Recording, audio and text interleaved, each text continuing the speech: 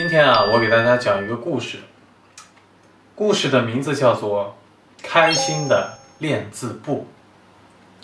有一天我在坐高铁，然后有一个粉丝呢，他就送了我一个小礼物。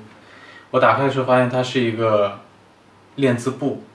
可能我觉得我在剧里的给大家有一种错觉，就是江辰这个人写字肯定很好看，但我本人的字体是比较比较偏向于小学生。然后就总是遭到嘲讽。看到这个练字簿的时候，我挺开心的，然后又有种说不出来的心情。呃，还有那么一点点小羞耻。好了，我的故事就分享到这儿。